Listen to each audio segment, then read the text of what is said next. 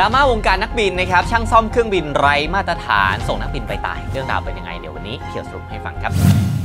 คุณวรัตน์ไดทองครับยูทูบเบอร์ด้านการบินนะครับออกมาแฉวงการนักบินหรือว่าช่างซ่อมเครื่องบินนะครับใน Facebook ส่วนตัว โดยเล่าให้ฟังว่าเมื่อ 2 ปีก่อนครับเขาได้ซื้อเครื่องบินมาลำหนึ่งชื่อรุ่นว่า Commander 114 นั่นเองนะครับหลังจากที่ซื้อมานะครับเครื่องบินลำนี้ต้องซ่อมบำรุงนานถึง 2 ปีด้วยกัน ระหว่างที่ซ่อม 2 ปีนั้นก็มีการเปลี่ยนทีมช่างซ่อมถึง 3 ชุดด้วยกันครับจนมาถึงปีนี้ครับในวันที่ 21 เมษายนนะครับทีมช่างเนี่ยได้แจ้งกับคุณวรัตน์ว่าตอนนี้เครื่องอยู่ในสภาพที่พร้อมบินแล้วนะครับและที่สำคัญได้ใบสมควรเดินอากาศนะครับ ซึ่งใบนี้ทำให้คุณวรัตมั่นใจมากๆว่าตอนนี้ เครื่องบินลำนี้อยู่ในสภาพที่สมบูรณ์ สภาพดีพร้อมสำหรับการบินนั่นเอง แต่ในระหว่างที่ทำการ test flight บินนะครับกับพบปัญหามากมายหนึ่งในปัญหาที่หนักที่สุดก็คือ รอบใบพัดมัน overspeed ครับ โดยปกติแล้วเครื่องบินรุ่นนี้ลำนี้นะครับจะมี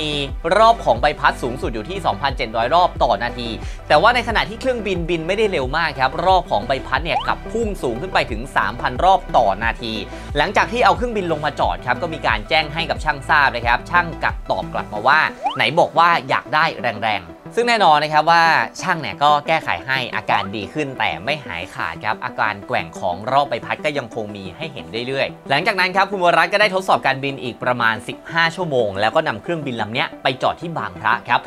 ปรากฏว่าช่างที่บางพระฮะเห็นเครื่องบินปุ๊บสามารถตอบได้ทันทีเลยว่ามีการติดตั้ง governor หรือว่าเครื่องควบคุมรอบใบพัดผิดฮะ ซึ่งเนี่ยคือเหตุผลที่ทำให้รอบของใบพัดมันไม่นิ่ง มันไม่เสถียร ประเด็นก็คือช่างที่บางพาครับ เห็นแวบเดียวก็สามารถรู้เลยว่ามันมีปัญหาอะไรเกิดขึ้นบ้างนะครับทำให้คุณวรัตเนี่ยตัดสินใจครับบอกว่า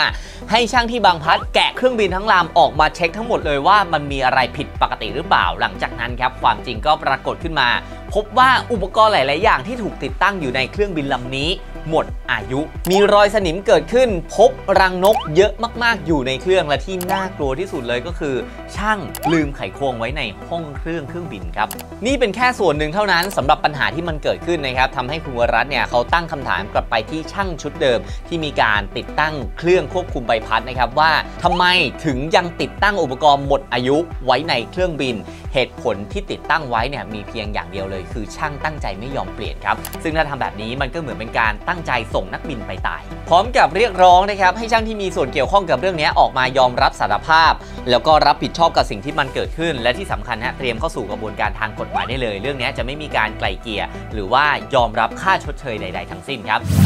หรือการที่ช่างไร้มาตรฐานแบบนี้เป็นสาเหตุของการที่เครื่องบินเล็ก ตกค่อนข้างบ่อยในช่วงนี้ คุณผู้ชมมีความคิดเห็นยังไงบ้างก็คอมเมนต์เข้ามาพูดคุยกันได้เลยนะครับ สุดท้ายฝากกดหัวใจกดไลค์กดแชร์กด subscribe ครับเป็นกำลังใจให้กับทีมสปริงของเราด้วยนะครับ